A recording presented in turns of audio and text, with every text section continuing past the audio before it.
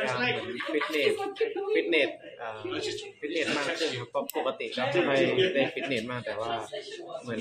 schedule Asian Tour ตอนนี้มันแข่ง6อาทิตย์ติดนะครับ ก็พยายามฟิตเนสหรือว่าทำร่างกายอะไรอย่างนี้เพื่อเตรียมตัวสำหรับ 6 อาทิตย์ครับแล้วก็เอ่อรู้สึกแปลกมากครับ วันนี้ที่ไม่ความกดดันน้อยกว่าทุกๆวัน แต่ว่า มันรู้ว่าตัวเองกำลังทำอะไรอยู่ในปัจจุบันอะไรอย่างนี้มากกว่าครับ มันก็เลยเหมือนทำให้แบบ ไม่กดดันมาก แต่ว่ามากดดันรอบหลังแทนครับถือว่าตามแผนมากแล้วครับ มันก็มันแค่คุมอารมณ์ได้แค่นี้ก็ถือว่าสุดยอดแล้วอาจจะเชื่อมั่นในตัวเองมากขึ้นนะครับ เพราะว่าเหมือนที่ผ่านมาเหมือนคิดว่าตัวเองน่าจะทำไม่ได้หรืออะไรอย่างเงี้ยแต่ว่าเหมือน ที่ผ่านมาก็เหมือนแบบเก็บประสบการณ์มาเรื่อยแล้วเหมือนเชื่อมั่นในตัวเองมากขึ้นเลย